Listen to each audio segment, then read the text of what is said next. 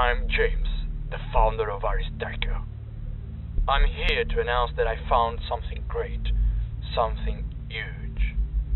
To see what I found, watch Tiago Iúri's Nortik short film.